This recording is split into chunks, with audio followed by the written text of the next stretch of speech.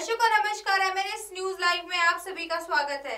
भंडारा ज़िले के लाखानदुर तहसील में सुबह से झमाझम बारिश हो रही है, जिसके चलते लाखानदुर के कई वार्ड इलाकों के घरों में चार फीट तक पानी घुसा है।